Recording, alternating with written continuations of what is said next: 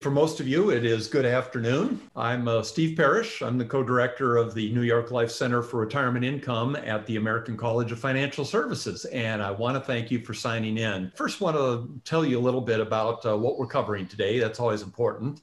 And as we look forward to digging out of the effects of the pandemic, the retirement planning landscape has changed quite a bit. So today we want to get a view from both a vendor company perspective and from a retirement advisor as to this changed landscape. Uh, but more than that, we, we really want to talk about communicating, communicating with consumers in what we hope will soon be a post pandemic world dealing with retirement income. So we have two great uh, speakers today. First of all, we have uh, Dana Anspach, and um, in addition to being a seasoned uh, professional in the retirement income area, she is also a nationally known speaker on the topic of retirement planning with her most recent work coming in the form of her lecture series on retirement planning and the very popular Great Courses lecture series. I mentioned to Dana that uh, that was the one thing that kind of kept me sane, if we'll assume I'm a sane, uh, during the pandemic. So it was great to hear that. And then uh, Sri Reddy is senior vice president at the Principal Financial Group, who I used to work at a long time ago. And he's really been key to the principal's huge presence in the retirement space. Now, I could spend the rest of the hour singing their praises, but let's make better use of their time by um, letting them talk. So, welcome, Dana. Welcome, uh, Sri. And uh, it's uh, it's great to have uh, you two here, uh, Dana and Sri. Um, and let me kind of set up a, a, baseline for the, the whole process and where we are currently. We're, we're seeing such a significant change in attitudes as a result of the pandemic. Um, in fact, one of the things I ran into just uh, Friday was a research studies um, done by Greenwald and Associates, a well-known firm, and they called it Rethinking Retirement Survey. Um, their headline basically said that nearly four in 10 say that the pandemic has permanently shifted their vision of retirement. And an aha I got from, from their summary of their research is that one quarter of Americans, uh, worker, American workers who were age 50 to 69 now plan to retire later than they had originally intended because of the pandemic, while another 9% plan to retire sooner than they originally intended. But I think what's really interesting in both cases, some of the respondents cited that working from home, telecommuting, if you will, as one of the drivers for their changed intention. So some of them are saying, I hate working from home, so I'm going to retire. Some said, I love working from home, so I'm going to stay on. So we're really thinking retirement. So let me start with you, Dana. Um, as you look as, as you look at retirement planning in 2021, what's the mood? I mean, I think prospective retirees are worried about social security levels and the prospect of, of increases in um, taxes, but maybe that's too financial. What should retirement uh, advisors be thinking about right now and working with their respective retirees? Yeah, Steve, that's a great question. I mean, I think after the last year, the mood is hopeful. I certainly hope so, at least.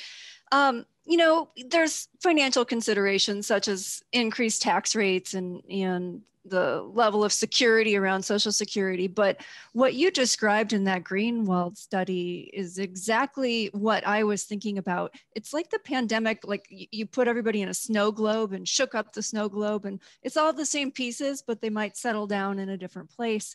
And i think some people are realizing with work from home they can work longer and other people are thinking wow you know if this is what retirement is about, just always being in the same place, maybe I don't want to retire.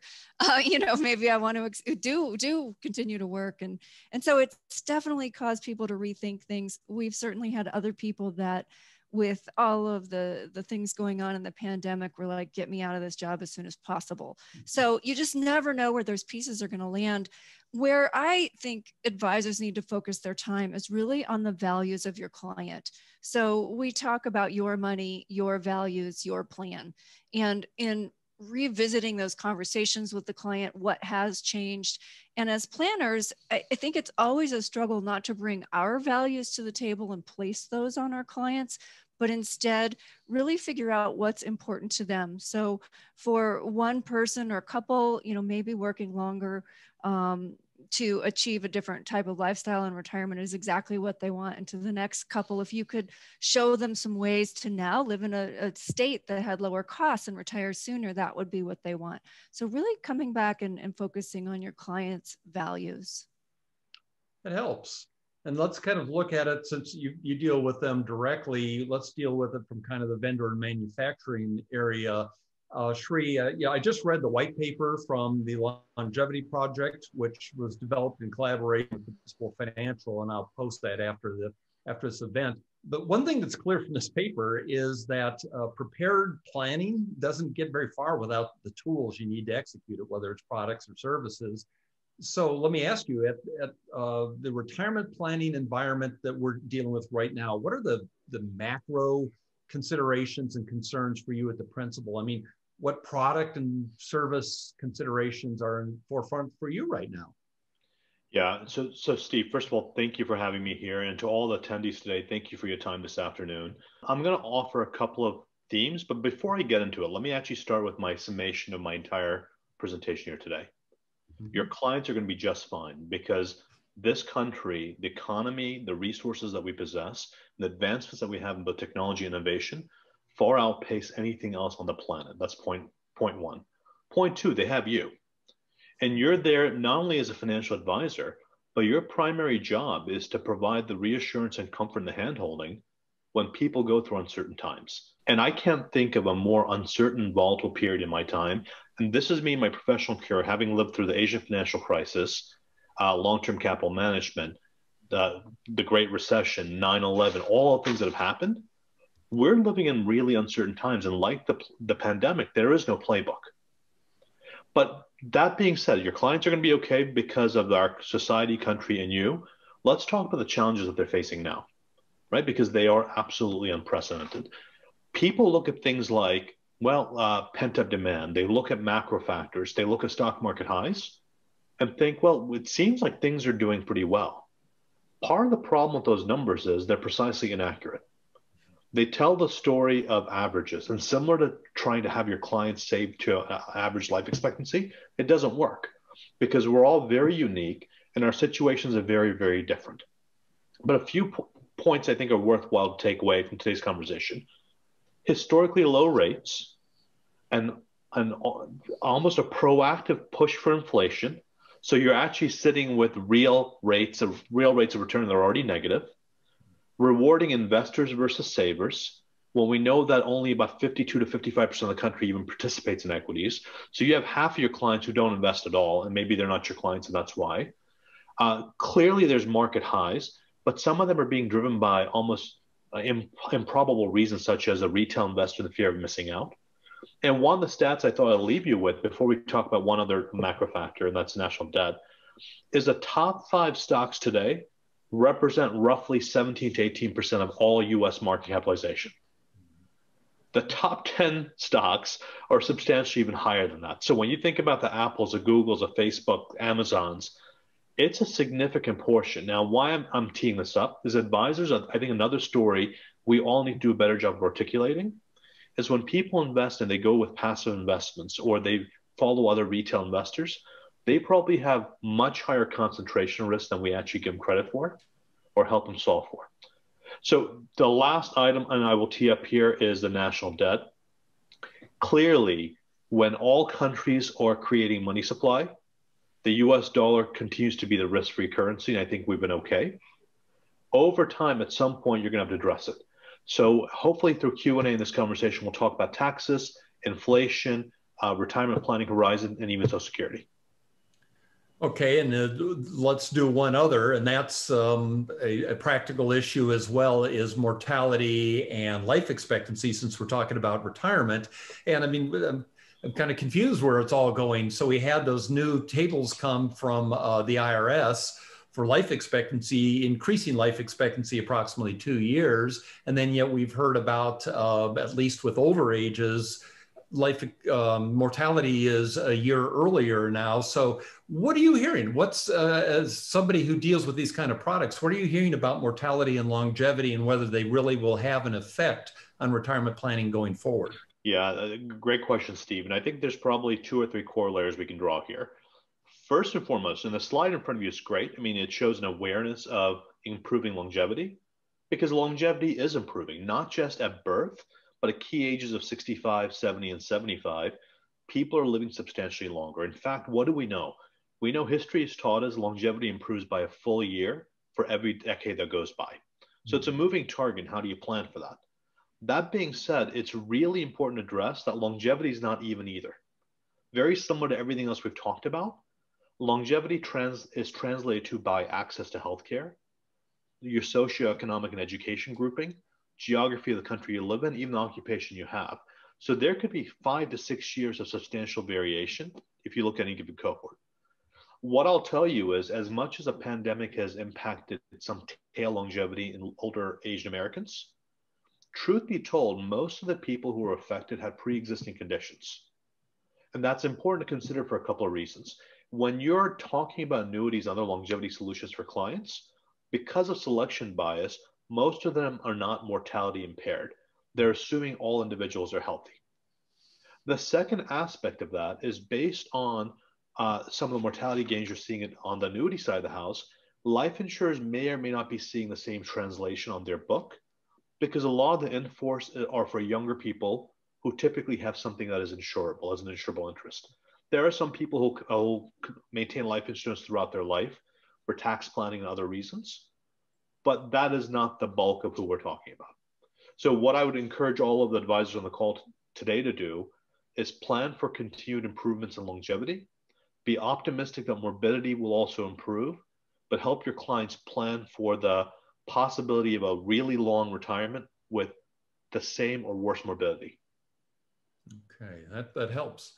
Well, let's let's talk about um, retirement uh, literacy now. Um, Dana, when you um, when you look at what's going on out there as far as dealing with our, our clients, one of the things that the American College we're concerned about is this kind of K recovery, where those who are doing well are maybe even doing better as a result of the pandemic, depending on what they were doing, or at least doing as well.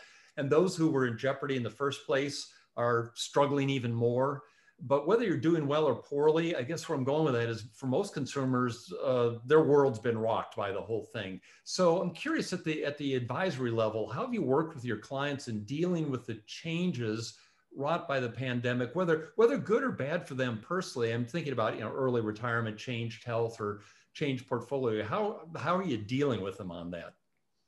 Yeah, so you know we've been really lucky in that our clients have weathered this situation quite well but it's really having frank conversations with people. I you know giving them their choices. I was thinking about this as Sri was talking about you know the annuity and longevity solution in terms of you know who is it a good fit for? And you need to to segment your clients. So you know i've often said when it comes to you know that fear of running out of money as an annuity is a great solution yet you know why is it that sometimes we have so much trouble getting people to buy them? And there's particular demographics those we consider more constrained uh, that could really benefit from these products. And so talking to your clients about these things even perhaps years in advance i think can be a good start. We will often start talking to our clients if we think a reverse mortgage is going to be a good fit a decade ahead of time just to start planting that seed, get people to open their minds. Uh, if you've had clients on the bottom side of the K who have lost income and lost jobs, it, they're going to have to revisit things. You know, is there a way they can re-career? Um, you know is is what what are their options? And there is no way to sugarcoat it. You know there are people who have been severely impacted and is going to be somewhat of, of a starting over. There are others who like i use the snow globe analogy just you know their their plans have changed and and so but they're still going to be okay. And then it's just rearranging the pieces, rearranging their underlying financial pieces to support a later retirement or an earlier retirement. The best thing is having those frank conversations. Don't shy away from very direct conversations and and just telling it the way it is. Yeah. Well, and part of it is what they know and what they don't know. And in the last nine years at the American College, we've been lucky that we've done these three retirement literacy surveys. And if they tell us anything, we have this kind of perfect storm going on where the fact is that the average consumer is very unaware of some of the major issues they need to be aware of in retirement planning and yet a lot of them tend to be very confident about their knowledge of that and that of course is is not a good mix um, so we're just curious if um, you're seeing any change in that because of the the fear or the scare that was caused by the pandemic. Um, I mean, I, think of your excellent um, lecture series I mentioned in great courses. It, it, seems to be a favorite with subscribers. Is it possible that consumers are starting to get it? I would love to think so. Uh, I, I, think there's more media sources available today in terms of podcasts and audiobooks and YouTube videos. And, you know, it used to primarily be you had the mainstream press and, you know, maybe a one financial TV show and, and the Wall Street Journal. And now you have so many more options to learn about money, to learn about finance, to learn about retirement uh, a lot of the plan 401k plan providers are providing more and more education. All of those things are helping to move the needle in the right direction. In terms of you know changes that we've seen um, eh, you know i still see that eh, there's often a difference in the demographic just as there's a difference in longevity based on demographics. People that have less assets and less education sometimes don't understand money as well and I'll use the example of someone I had, you know, years ago who wanted to retire on $250,000. There's a 20 year age gap between this couple. And they thought that was just a lot of money and enough to provide a, a pretty hefty lifestyle for them. And so it was a big shock for them to see that when I translate that into lifetime income, it didn't stretch as far as they thought. And so what I find is almost the same K shaped, where people on the higher demographic seem to come in wanting to know what it is they don't know and really wanting to make sure that they have enough when they do. They want it double and even triple tested. And the people on the lower end of the K um, will often have an idea that the money can go farther or do more than perhaps it really can. So there's still an education gap there that, that has to be overcome between those two demographics. Yes, it didn't get cured overnight. Um, Sri, so let's let's think about the haves and the have-nots, and since Principal Financial touches so many companies and so many individuals in the retirement space, how are you addressing the uh, the challenges of the haves and have-nots, uh, particularly when they're often you know gender-based or color-based or community-based? Yeah. So so Steve, first and foremost, I do a lot of work with policymakers, and one of the things I tell them that I want to make sure this group hears today is the retirement system in this country is absolutely working as designed. Now, why can I say that with such conviction and confidence? Because if you look at income replacement ratio, ratios across any of the quintiles or quartiles of income, from the bottom 20% up to the top 20%, the system is working. The bottom 20 to 40% get the vast majority of their income replacement from Social Security. Is it much? No. Are they going to have a wonderful lifestyle where they're retiring with some of the, the pictures we see in brochures? No.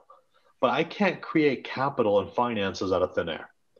I can only replicate and build off of the base and foundations they started with, right? So creating a macroeconomic structure where that there, there's higher wages, higher savings, that's a separate issue. What I talk to people about, and I think this is where there's a distinction in tone. I'd encourage uh, our audience today to think about this as well. I actually think financial services has done a disservice in the last 30, 40 years in talking to consumers, mostly because there's a lot of gloom and doom and a lot of fear marketing. Hmm. And I choose not to do that. And for our company, the voice that we choose to use is you're going to be okay. And the reason I know you're going to be okay is no matter how late you choose to start, it's better than not starting at all. That's point one. Point two, there is no financial model from the Nobel laureates to anyone else that factors into account human resiliency. Human beings make sp- almost spontaneous, immediate choice selection based on their own personal situation and the changing environment around them. No one expects a linear line. That's point two. Point three spending in retirement is not even. People assume, most of our models assume there's a linear spend uh, function. That's not true. People typically spend more two or three years into retirement. That spending subsides and comes down in the following years. You know, by the way, once you get to a certain age point, even if you're blessed with good health, your desire to, to, spend and travel and consume starts decreasing as well.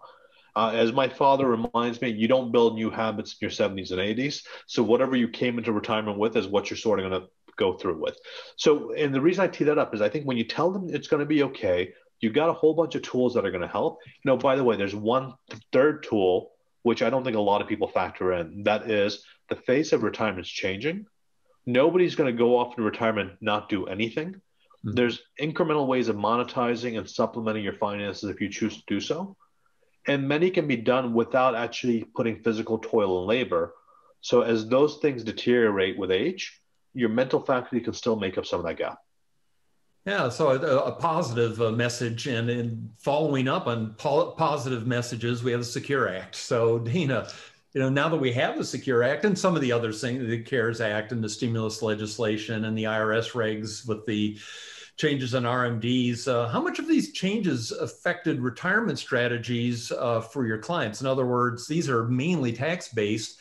Um, is there increased interest in Roth IRAs and uh, conversions? Um, are they worried about the takeaway of the stretch IRA? I mean, how much does that factor into that positive message that we just heard from Sri? Yeah, you know, I think of this time period that typically starts around age 50 or 55. And now, because of the Secure Act, it goes to age 72 as what I call the retirement planning opportunity zone. There are so many moving parts during that time frame your required minimum distributions now are, are not starting until 72 so to me what the secure act did is it expanded that opportunity zone and when you ask about interest in Roth IRA conversions, uh, you know, they are one of my favorite tools, Roth IRAs in general. And I, I don't know that there's necessarily expanded interest, but there's certainly an expanded opportunity to use them so if somebody retires at 60 or 62 or 65 and delays Social Security, and now their RMDs aren't going to begin until 72, there's this window of time where they could be in a lower tax rate. And that window of time can usually be a great time to do Roth conversions or simply to withdraw from an IRA while you're at a lower tax rate. So I do think it expanded opportunities there. Uh, I've also seen the latest research. Um, I just saw it on the Pension Council, Pension Research Council. I can't remember the, the name of it come out, but they were talking about the, the potential to delay RMDs even further. And again, that the main people that that helped were already the higher income, higher net worth households that had legacy goals. And so for the average person, um, you know, where Sri was talking about Social Security replacing already a, a large portion of their income, delaying the RMDs doesn't have as much impact on them. So again, there's a there's a big difference in how these types of legislation impact different demographics. But uh, overall, I you know I think anything that helps people plan ahead and and have conversations and think about retirement is good. Good. And, and let me ask, uh, since you work on the, the, the plan sponsor side of it and the Secure Act, I mean, we always look at what there was on the consumer side, but I'm just curious. I, you know, I'm going to ask the question, but I don't know what your answer is going to be. Is um, how real are some of the changes that they made uh, with the Secure Act in terms of MEPS and PEPs and giving more credits on 401ks? Is that actually making a difference? And since I'm asking you that, you might address, since uh, Dana already brought it up, the possibility that there might be a Secure Act 2.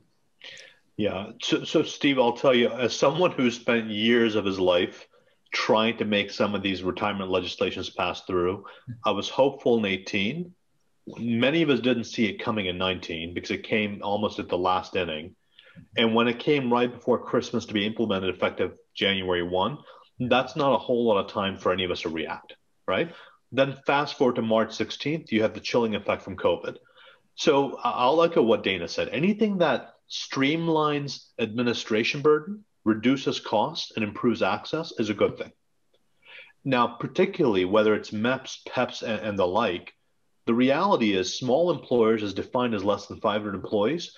There are many, many small employers that don't offer a retirement plan. Mm-hmm. And we know if it's less than 100 employees, I mean, the penetration there is super low.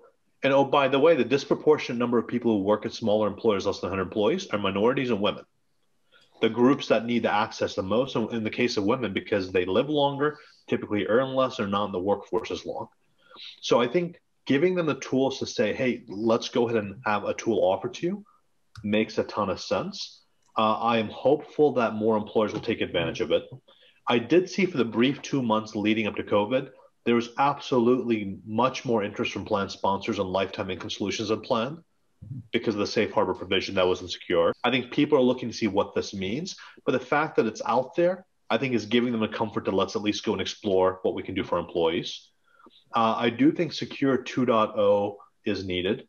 And whether and it could be whether structural issues such as RMDs, but the one I'm pushing for, I think we have a long way to go here, is our current Social Security taxation system doesn't really provide any incentive for people to stay in the workforce after the age of 70, especially if you're paying into the system. And I think if you don't address issues like that, it's going to exacerbate a problem we already have. So I'm really looking forward to having the legislative cha- uh, challenges to, to, the, to the words on the slide actually improve access, participation, adequacy, and longevity. Okay, that helps. Well, let's take uh, one of those in particular annuities. Um, annuities as an investment option, obviously, that's been liberalized with Secure Act. Um, has that made a difference in the DC world as far as being offered? And are we seeing QLACs being used more? So, you know, uh, are, are they starting to use annuities as a tool in DC plans now? Uh, n- no, I think the interest is picking up. This is, uh, and I've been doing this for a long time, and I've said we, hey, we're throwing a party and we're still waiting for the guests to show up, right? We know it's important. We know why it's a tool that's important for individual investors to solve for. I think it's really hard to communicate that in a DC plan environment, especially when you don't have a holistic picture of their own financial profile or their household. And more importantly, there's usually not an advisor providing education counsel. So, what I push for within our own organization is how do you simplify the product structure how do you make it so saleable and understandable? And how do you actually package it with a, with a QDIA? So there's additional adoption, that there's almost an autopilot nature. So people don't have to, to think through all the complexity of decisions. Okay, so same question, Dana, more at the uh, at the advisor level. Uh, how do you get the idea of annuities across? How do you explain it to them and get them to use it? Yeah, so uh, you know, I like this analogy of we uh, we accumulate a lot of stuff as we're saving for retirement, and we end up with accounts here and a 401k there, and maybe another one over here, and you know, you need all of that stuff to work together. You need to align it toward a consistent goal to put all the blocks in a sequence to deliver reliable retirement cash flow.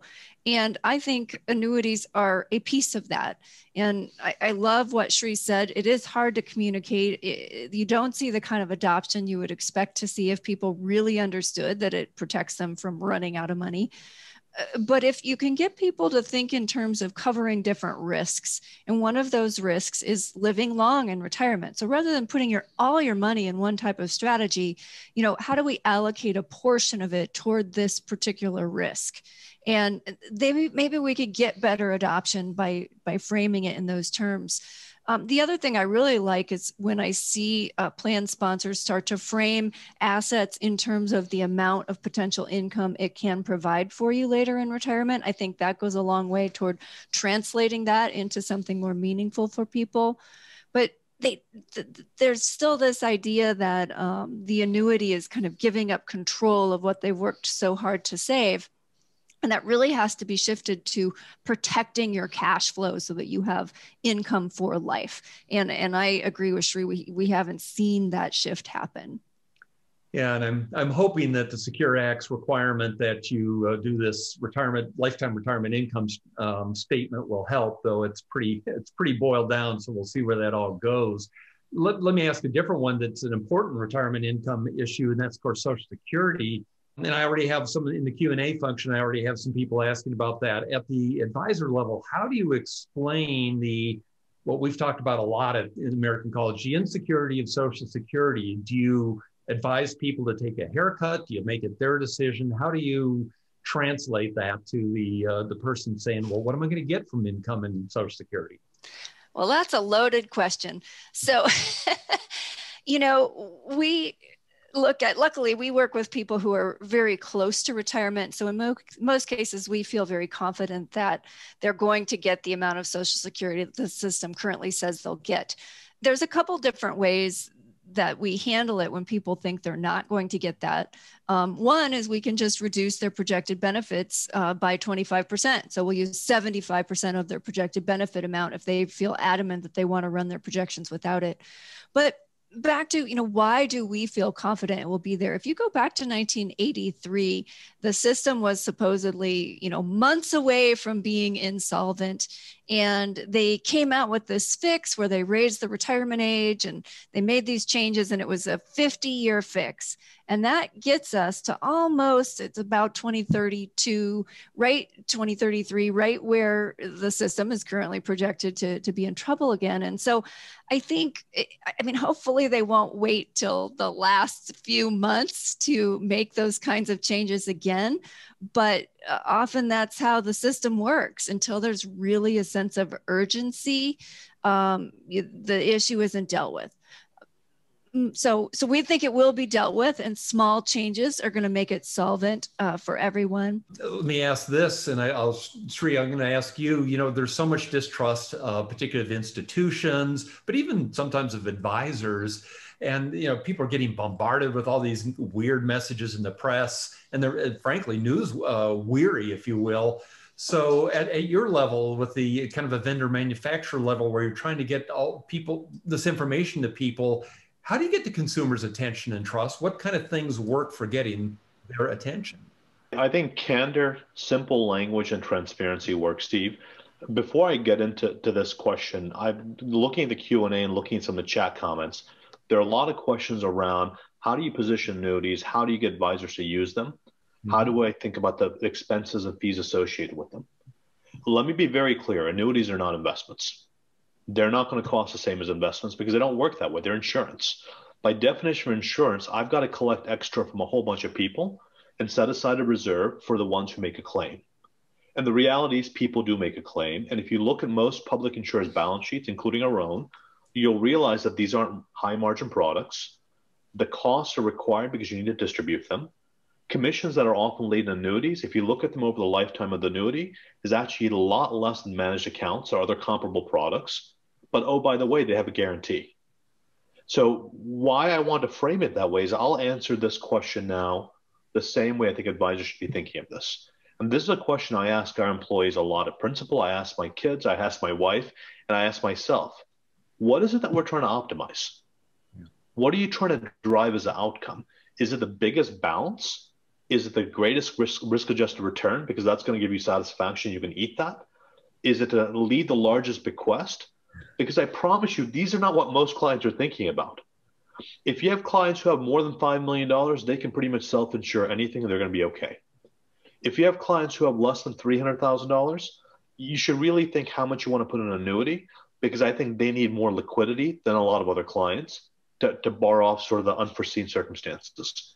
It's the crux of folks between the 300 to I'd say more the $2 million mark that would be way better off pooling their tail risks so they can make the most of their retirement income, uh, take actually greater market risk and investment risk for the pool that's sort of their play money, and actually leave bigger bequests and other things behind. You can add your value as advisor doing that by taking all their non discretionary expenses, taking on Social Security and saying, this is on autopilot. You never have to worry about housing, food, or health care. Everything else, let me tell you how we can maximize and drive what you want to drive to Dana's point around planning. Now, I think you do that by what I just said, right? I mean, you make it simple. You talk to them in language that they can understand. Don't over, don't overcomplexify it for them because that's unnecessary. And always go back to what I started with, which is you're going to be okay. Because there's a lot of things that are sort of tilted in your favor already.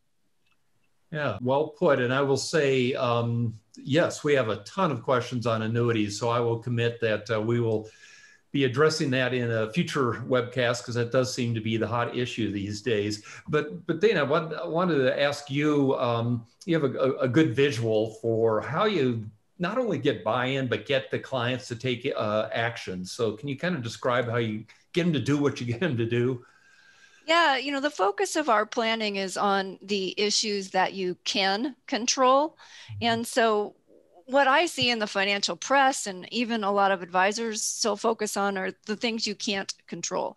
Market returns, this constant discussion around the portfolio and the economy and you know, right now inflation is hot in the news and, and those are all things we can't control so what we have to do is have the planning levers that we can adjust how much we spend how do we manage taxes? We can't control tax rates but how do we make the most of those rates and, and use them to our advantage? The level of investment risk that we're taking. And to some degree we can control our retirement date. Are we going to work longer? Are we going to earn part-time work in retirement?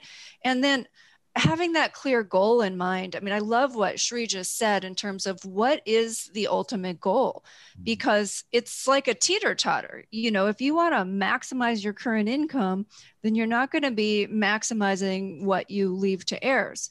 If you want to maximize future wealth and that's really the focus when we're 20 30 40 it's all around maximizing future wealth. And we try to help people make that mental shift to now it is about creating a reliable paycheck in retirement. And it is a different math problem that you're solving. And so if you're using the same equation that you used while you were accumulating and you're trying to use that to solve what you need for retirement cash flow, it's not going to work as well, or at least it may not. There, there's not as much certainty that it will, will work as well. So those are the types of tools we like to use. And in terms of Social Security, it's amazing to me that so many people rely on FDIC insurance and absolutely you know that is like the gold seal and yet they won't rely on social security. And if there was a severe problem in our social security system you know over half of the people who collect social security it is their sole source of cash flow and what happens if we have a lot of poverty in old age? It does become the government's problem. So when we have a huge issue, they have to create money in some way or another to help that problem. And so that's another one of those reasons why I think, uh, you know, we're not going to see a, a big issue with Social Security because there has to be a way to fund paychecks for people, or ultimately it, it comes back on the government. Yeah, yeah. And I think the analogy to the FDIC is a good way of looking at it. Um, let me ask one that I don't want to spend much time on, but I just feel like we have to deal with the issue of um, what we can and can't say to the consumers. So, um, you know, we have to do disclosures. And isn't this my clever way of putting uh, principals disclosure in that they have to do? You know, we've got the SEC, DOL, uh, NAIC, and state rules about whether you're going to be um, doing a uh, going to be a fiduciary or a best interest or a suitability, all that. Uh, let me first ask Sri at the at the big company level, how do you deal with 50 different uh, jurisdictions and all their what are sometimes contradictory laws and regs in in being able to tell your story? Yeah, it's actually 52 plus the national regulators. You got Puerto Rico and DC, right? So it's it's it's a lot of regulation and at the end of the day, listen, Steve, disclosure, it started off not as a negative regime, right? You wanted to be transparent to consumers. Problem is when you're as prescriptive as we've been, it creates a whole bunch of disclosure that nobody reads. Sort of like the fine print when you buy your home or anything else. And that's not doing people a good service.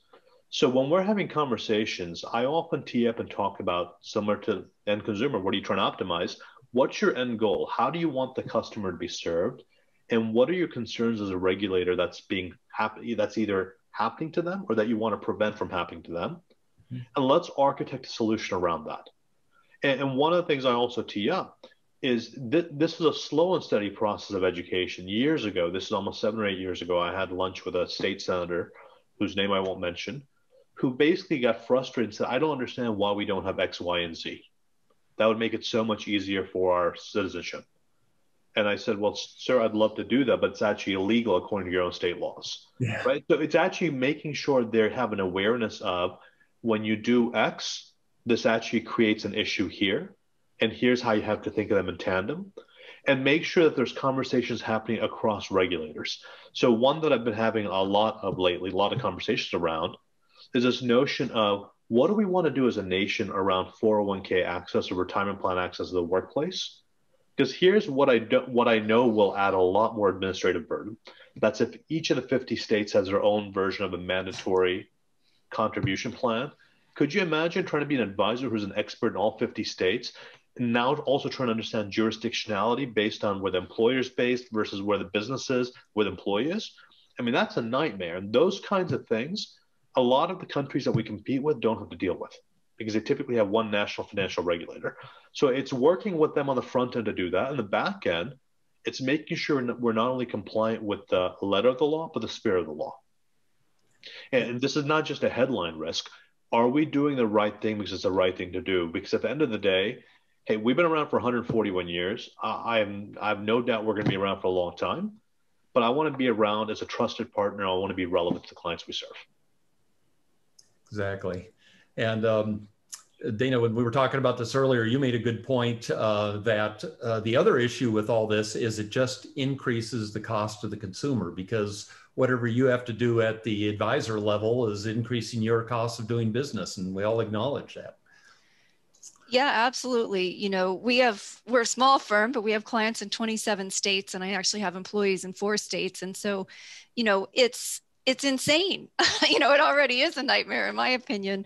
You know, what we have to do to stay compliant. And, you know, as an example, we just hired a firm to redo all our compliance documents, and we had worked really hard so that they read not just as a legal disclosure, but also trying to be as descriptive to what we actually do. And of course, as attorneys, they come in and change it back to language that to me just doesn't say much.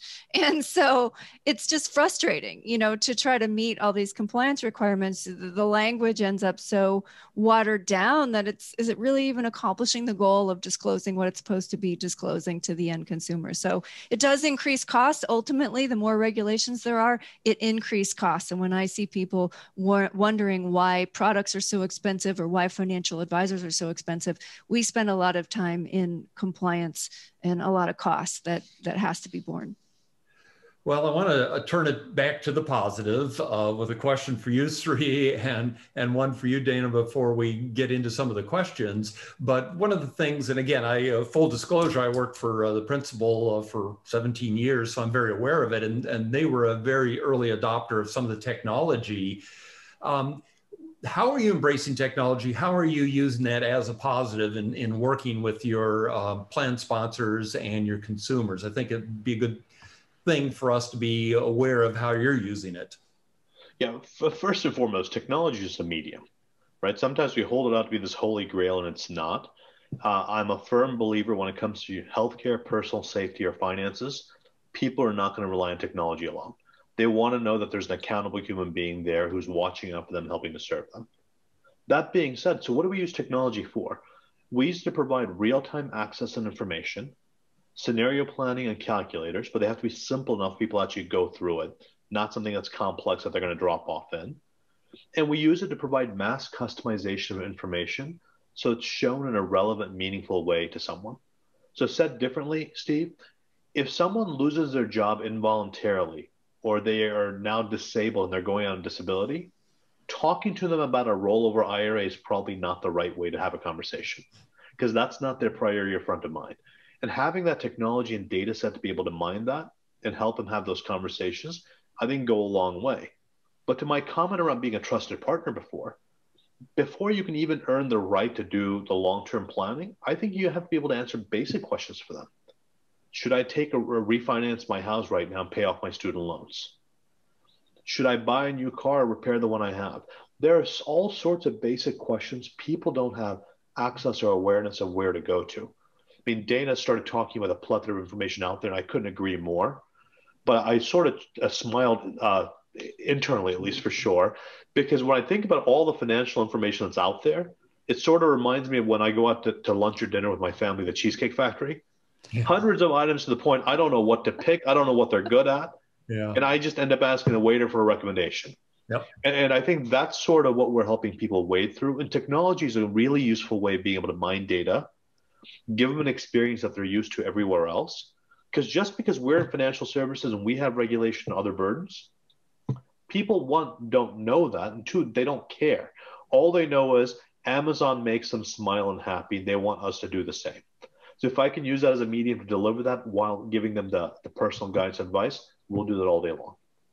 Exactly. And speaking of making it uh, something that people can understand, I cannot uh, go to the questions without first, um, excuse me, uh, making a acknowledgement of uh, I really enjoyed Dana your lecture series on how to plan for the perfect retirement in the great courses. And one of the things that you did is you had all these nuggets that you use with your clients to explain uh, complicated things. I'm a professor, I can use fancy words, but you know, as Sri just said, it doesn't mean a lot to the client unless you can really make it clear to them. Could you just share with us a few of the things, some of the analogies, some of the metaphors or ways you use of saying things before we go into the Q&A? Yeah, absolutely. Um, you know, one of them I know that you really enjoyed in the great courses was my analogy of, you know, retirement planning and the general rules of thumb, and even a lot of the technology that's out there, which technology is crucial to running a retirement projection. But a lot of times the answer it gives you is, you know, 90% probability of success. And that's like telling someone you're flying from New York to LA and head west. It's like, okay but the types of questions we get in retirement are around you know i need to land a plane on a specific runway at a specific time like, where is my first retirement paycheck going to come from? How much should I withhold in taxes? Quarterly tax payments, what are those? How should I make them? When? Why do I have to make them? You know, am I at a risk of audit now? So they're very granular questions. What account do I draw out of? My Roth IRA or this? Which investment should I sell in this account? And, and the technology doesn't get down to that level of detail. So the other analogy I will use a lot, or that you see the vehicles on screen right now, is when we're young it's often the sports cars right? Yeah i don't know how many of people on the on the presentation today used to have pictures of fancy cars on their wall when they were a teenager. We all want these high returns and we you know 20s and 30s we want to maximize our wealth. And then you know you've got the economy car that it's reliable and it's predictable it's going to have low repair costs you can drive it for a long time. And then you've got the all-weather vehicle your jeep. And and so when I think about retirement, I think about shifting people's focus to that all weather vehicle and saying, you know, now's the time where you're going to encounter all types of different terrain. And, you know, you, you don't want the fastest car. It's not going for the highest rate of return. It's back to what strategy or set of strategies are going to help you weather all of the different conditions that you might get over retirement. Love it. it makes a lot of sense. And um, it, it, seems a good transition to say, um, to be able to do those things, you first have to understand it. When I say you, you as advisors that are listening to this. And so I just want to remind you that RICP is one of the ways we get there. That's why we do this. That's why we have great people like the two we have on right now to make sure you're equipped so that you can get this to the consumer. Um, so I think what would be appropriate at this point is to go into questions and answers. Um, and while we're doing that, for those of you interested, our next webinar will be May 26th, and it's going to be a fun one in that we're going to be talking about integrating estate planning into retirement planning in this post-pandemic environment, something I'm very interested in because I teach a lot of estate planning.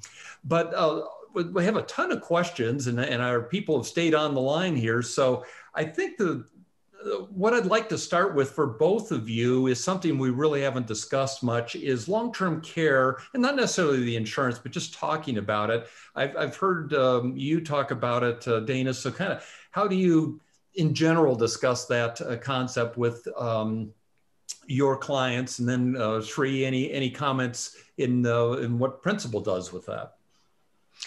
Yeah, so we use a report that was put together by Vanguard, and Mercer. I think it was a 2018 research report.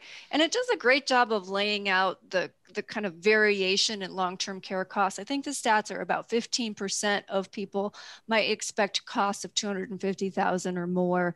And then, you know, there's a another, you know, pretty large segment. I believe it's about 25% of people that um, won't experience any long term care costs. And then there's everyone in the middle where you might need someone to come into the house to help. You just might need more help around the house with cleaning and yard work and, and keeping up on, on things. And so I think the majority of people are going to fall in, you know, in the middle and be able to bear that cost out of pocket or not incur any costs they may pass suddenly. So what we're really concerned about is that that 15% that that could incur a, a, very hefty cost. And then it comes back to demographics. So just as Sri said around, you know, the different demographics of insuring for most households that certainly have over 5 million, you know, even in many cases over 2 million of financial assets plus perhaps a paid off home, they're going to be able to bear that cost uh, out of pocket. And so we then shift the conversation to, to do you want insurance for peace of mind? Mm-hmm. So sometimes there's just that, ah, you know, I just feel better because this risk has been insured. I don't have to think about it now. And Shreya, just since you deal with uh, policymakers and all that, I'm just kind of curious, how do you address the, that's such a huge issue, long-term care, since it's not taking care of Medicare and all the issues to use Medicaid. Thoughts?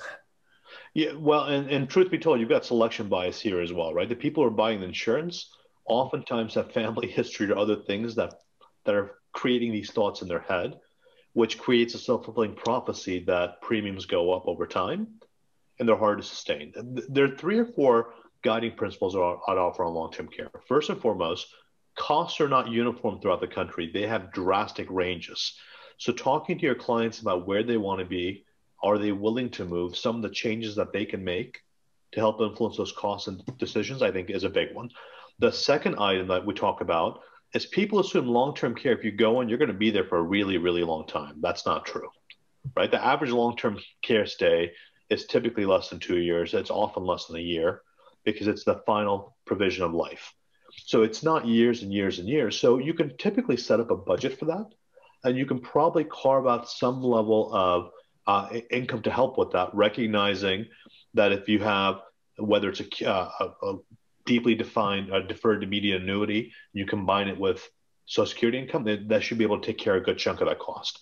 But the third guiding principle I offer is if you have married clients, you should really think about how you structure your portfolio so they're both means tested and the surviving spouse who's not in long-term care will be able to take care of themselves because i think that's one of those unwarranted consequences that comes out where people have to deplete all their finances before they can get um, uh, medicaid support I think that's that. So there are Medicaid approved annuities that, that are out there that will help the surviving spouse and allow your clients to take advantage of governmental programs for long-term care. So those are three. And, and the last one I'll throw out there is there are lots of hybrid solutions available. They're not all created equal. So make sure you do your research and you understand the trade-offs before you put your clients into them. Very good. Okay. Um, thinking through the limited time we have, uh, again, we are going to make sure we do a, a new session on annuities because we just were flooded with annuity questions. But Dana, let me ask you a question that has come up here and it kind of refer references what several of you did is the non-financial side of retirement. Uh, how do you deal at the, again, at your level with people with the actual issue of retiring? What am I going to do the day after I hang up? Uh, the Spurs, which, as Sri said, most people aren't going to. It's going to be a transition one. But how do you how do you deal with that? Yeah, so there's a great book by Fritz. He's uh, the Retirement Manifesto is his blog, and he wrote a, a, little book called Keys. I think it's called Keys to Successful Retirement, and we highly recommend that now for people who are thinking about that shift into retirement because I think he does such a phenomenal job of talking about what I call the non-financial, the softer side of retirement we will ask questions you know what do you plan on doing? Have you given thought to this?